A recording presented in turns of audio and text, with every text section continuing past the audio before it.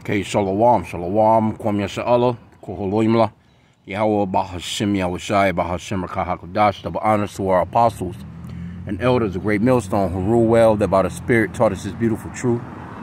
Just want to say the water to all the Akim and Akwaf that's out here sincerely keeping the laws, the statutes, and commandments of Yahweh Bahashim Yahushai to the best of their ability. This is Jacques Hanan just coming at you with another quick lesson, praying that it's edifying by the Spirit. And um, just wanted to do a quick lesson on Esau is not going to get away. Esau is not going to get away. You ever see those movies where, you know, the, the enemy, just when he thought that he, you know, he slipped through everybody. Just when, you know, he's got that stupid ass smirk on his face, that smile on his face. And he's just like, he know he's an outsmarted everyone. And then all of a sudden, he gets caught. And that's what's going to come to Esau Edom. See, Esau Edom, he's at an all of a sudden uh, moment.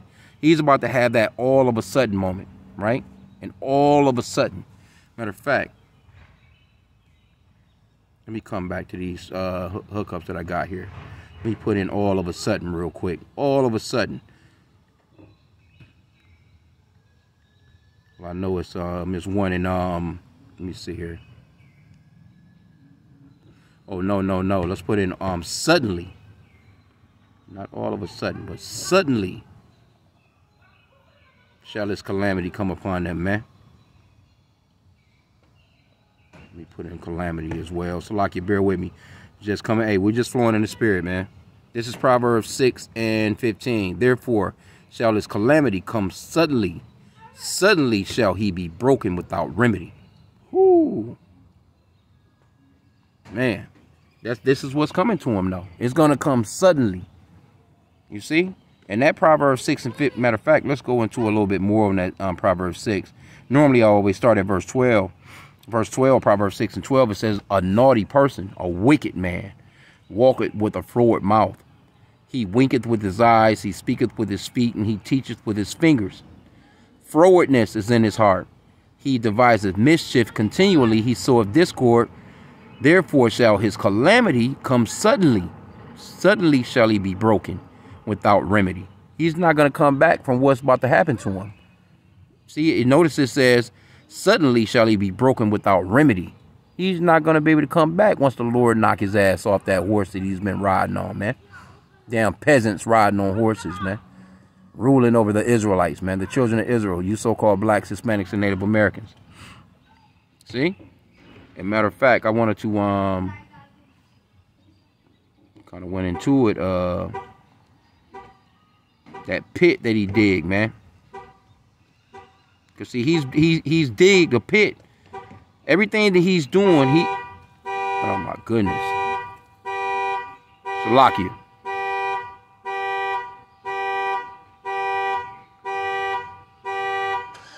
As soon as I come out here and do a lesson, man, that's the second time that's done happened too. They just saw damn alarm, man. Anyway, damn enemy, man. Proverbs 26 and 27, Whoso diggeth a pit shall fall therein, and he that rolleth, rolleth a stone, it will return upon him. So everything that this man done pushed out on us is going to come back to get his ass. If you notice, remember when, well, y'all may not remember when the crack era went down. I, I grew up in that shit. That crack era when Esau put that crack in them neighborhoods of the so-called blacks, Hispanics, and Native Americans, Jake was out here wilding the fuck out. Now, just go on, you know, YouTube and pull up um Kensington in um Pennsylvania out there. And uh, and those those particular uh that zombie type shit is all over America. The so-called white man is in these trailer parks. They're in the suburbs. They're in the the the the, the gated communities, drugged out, man. Doped out, drugged out, dying off quicker than they're being born. Why? Because they're reaping what they've sown which I wanted to go up into that as well. Ecclesiastes 10 and 8, it says, He that diggeth a pit shall fall into it, and whoso breaketh an, a hedge, a serpent shall bite him. See? See? You, Esau, he can't escape what he has um put together. See, they they call it karma. They call sometimes they'll say, you know what, what goes up must come down. What goes around comes around the scriptures describes it as, you know, hey, you reap what you sow, basically. You know? Sirach 27 and 26, it says, Whoso diggeth the pit shall fall therein, and he that setteth a trap shall be taken therein. So all the traps that he has set, all the things that he has done to knock the children of Israel down, to keep the children of Israel down, don't want us to know our heritage, don't know, want us to know our name, don't put our women against us, you know, our children against us, you know, just food against us, water against us. All that shit is coming back on them now. They going through this. Matter of fact, Esau going through it a lot worse than a lot of Jake are, man. A lot of Jake out here doing way better than they are when it comes to jobs and and and, and situate. Cause see, Jake done kind of caught on as, as far as the man. The man, see, that, that's been his main enemy, the men of Israel. And he used our women against us to basically attack us and bring us down. Now, don't get me wrong, we're doing horrible. Through baby mama drama to fucking um, child support to alimony if you got anything. If you got a damn house, she's taking that. If you got a damn car, she's taking that. You know, she's taking your children. She's using your children against you. You're trying to see the children. All that shit, man. See, all that stuff is now starting to fall back on them. They're going through um divorce court. They're on Maury, uh, uh, you are not the father, and all this other stuff. All these things are happening to them now. See, so let's get um, let's go to Galatians six and seven. And it's not gonna be a long lesson. I'm just out here and about, man. Uh, kind of enjoying a little bit of this weather that Yahweh Shemi was shy. You know, a little, little breakthrough. Went a bad winter. We went out, man. We done camp throughout the winter. We had a couple of few cold days, you know what I'm saying, on some Saturdays or whatever, whatever. But overall, you know, it wasn't to the point where we couldn't go out. I'll put it that way. So all praises to you. How Yahweh Shemi shot for that. So it's nice out right now. But um, this is uh, Galatians 6 and 7. Be not deceived. Yahweh is not mocked. For whatsoever a man soweth, that shall he also reap. So what Esau basically has put out here, what he has sown, he's reaping it now. See, he, he's that farmer. He's been farming and, and sowing seed and not knowing that he's going to get some, some, some fruit from it. Everybody really is a farmer, you know, deep down, you know what I'm saying? Everybody that's walking the planet is an actual farmer. You all, we all have the, the ability to sow seed and reap harvests because you reap what you sow, whether it's goodness or badness. And Esau has, has sown a lot of wickedness, a lot of bloodshed, a lot of raping, a lot of robbing, a lot of pillaging. He's been all over the earth. He's all over the earth right now everywhere this man goes is, is people that are oppressed, man. He comes in with his democracy. He depressed the people. He, he, he puts the woman against the man. And, and, matter of fact, that um that Proverbs chapter 6, it also goes off into causing discord among brethren, where you separate a family. You know, you put a brother against a brother, a sister against a sister, or a husband against his wife, or a wife against her, her husband. This is what the so-called white man has been notorious for doing. So now, when you look at their households, they're doing horrible that same trap that they set for us is actually they're falling into it, man. So now, let me get Galatians 6 and 7 again. It says, Be not mocked, or um, Salakia, be not deceived. Yahweh is not mocked. For whatsoever a man soweth, that shall he also reap. So now, that also goes off into nations of people, right? Because Esau, he's the progenitor of the white race. He had children. Those children became a nation. And now those millions and millions of people are here and they're running the earth. Job 9 and 24 says the earth is given into the hand of the wicked. So they're running things. They're over the entire planet. And guess what? They're over and have been ruling over the Israelites for, you know, shit, hundreds of years. You so-called blacks, Hispanics, and Native Americans. Our people are just in these countries, wherever we've been scattered to, just working to sleep, basically. Paying taxes. That's it, man. Paying tribute you know, low rent money, you know, that, you know, falling short here, coming up on this there, needing to borrow this there, need to do, you know, and it's all about the spirit and power of Yahweh Bashem side and him having mercy on us and, and actually taking care of us, man, and, and keeping a remnant of us of alive, man, amongst this wicked ass man, man. It, it, it's it's a blessing that it's only, you know, that it's a, a, you know, a remnant of us left, man.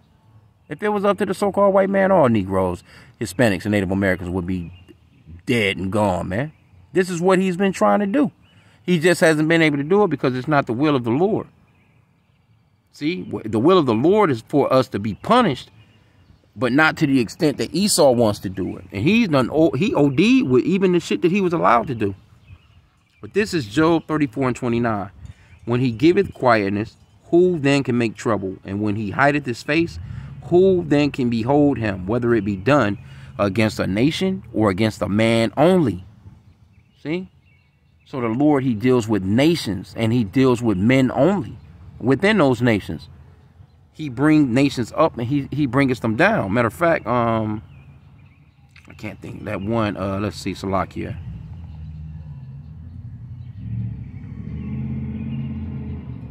Matter of fact, I can't get this one. Let's get First Samuel. Not the one that I want, but still touches on the point. First Samuel 2 and 6, the Lord killeth and maketh alive. He bringeth down to the grave and bringeth up. The Lord maketh rich and maketh the Lord maketh poor, Salakia. The Lord maketh poor and maketh rich. He bringeth low and he lifteth up. See? He raiseth up the poor out of the dust and lifteth up the beggar from the dunghill to set them among princes and to make them inherit the throne of glory. For the pillars of the earth are the Lord's and he hath set the world upon them. So the Lord, he can do what he wants, man. See, he can do what he wants. He can set up any nation that he wants to set up. He can set them up. That just like he set the so-called white man up to run the globe right now, he's going to take them down he's going to put them in captivity the same way that they, you know, he, he put us in captivity. And then he's going to raise us up. So what? Right? Let's get, um, um, what's that, uh, second Esdras? Six. We start at verse seven. Then answered I and said, What shall be the, the parting asunder of the times? Or when shall be the end of the first and the beginning of that of it that followeth?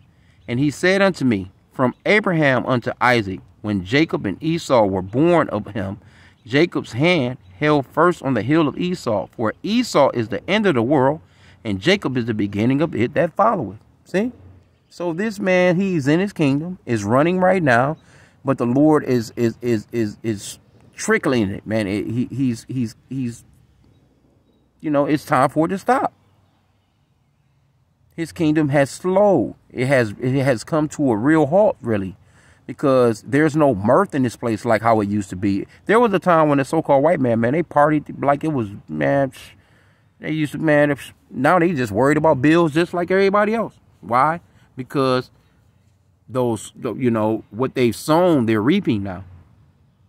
See, there was a time when they could easily go get a job, you know what I'm saying, work and shit. The man, he would take care of the home had two cars, all that shit, be able to go on vacations. And hell, the wife, she could stay at home.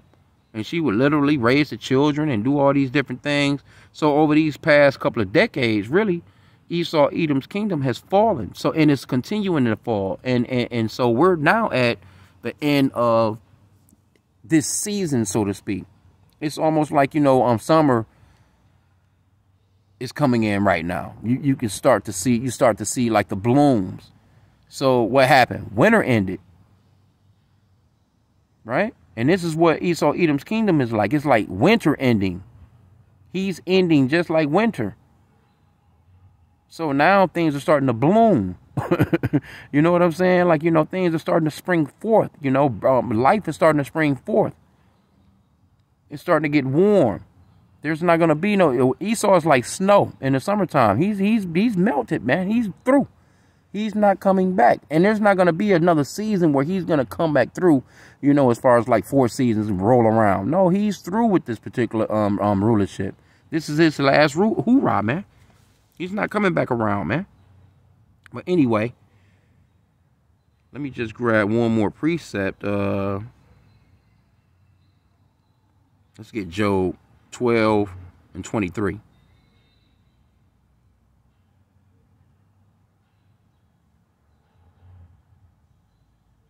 Yeah, man, the Lord is cold.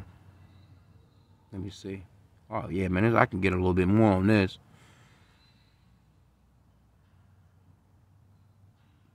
Man, it's so I can, man, you can, you, you, man, there's so much on, we can get this whole chapter dang on there.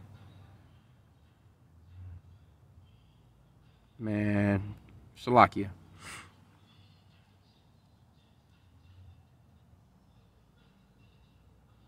Let me start at verse Job 12 and 9. Let's start at verse 9. Who knoweth not in all these things that the hand of the Lord hath wrought this, in whose hand is the soul of every living thing, and the breath of all mankind? Doeth not the ear try words, and the mouth taste his meat? With the ancient is wisdom, and in length of days understanding. With him is wisdom and strength. He hath counsel and understanding. Behold, he breaketh down, and it cannot be built again. He shutteth up a man, and there can be no opening. See, this is what's about to happen to Esau. There's no coming back. See, he's trying. That's why, you know, you'll have somebody like Trump they out here like talking about make America great again. You know, you got this other Edomite Biden talking about build back better. You know, they're trying, but they're not going to be able to do it because they can't overpower the Lord. The Lord has set a boundary for them and they can't pass it. Okay, it says, um, Behold, he withholdeth the waters, and they dry up. Also, he sendeth them out, and they overturn the earth. With him is strength and wisdom. The, the deceived and the deceiver are his. Right? He leadeth counselors away spoiled, and maketh the judges fools. He looseneth the bond the bonds of kings, and girdeth their loins with a girdle. He leadeth princes away spoiled, and overthroweth the mighty. This is what's happening right now. He removeth away the speech of the trusty, and take away the understanding of the aged. See, they used to be the ones with all the understanding. Now they on TV looking stupid as hell. It says, He poureth contempt upon princes, and weakeneth the strength of the mighty. He discovereth deep things out of out of darkness, and bringeth out to light the shadow of death. He increaseth the nations and destroyeth them. This is the point that I wanted to make. He he increaseth the nations and destroyeth them. He enlargeth the nations and straighteneth them again. See, he enlarged uh, uh, uh, uh, Esau Edom. Now he's about to uh, uh, you know bring his ass down to the ground, man. When that, that scripture talks about um um come down and sit in the dust. Verse 24 says, He taketh away the heart of the chief of the people of the earth, and causeth them to wander in a wilderness where there is no way.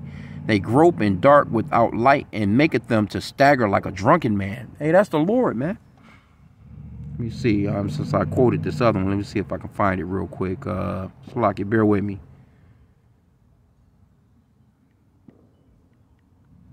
Yeah, man, it's time for Esau. Hey, the, he's about to kick the bus, man. He's about to kick he's about to kick the dust. Yep, Isaiah 47 and 1. Come down and sit in the dust, O virgin daughter of Babylon. Sit on the ground. There is no throne, O daughter of the Chaldeans. For thou shalt no more be called tender and delicate. Right? Take the millstone and grind meal, uncover thy locks. Make bare the leg, uncover the, the thigh, pass over the, the rivers.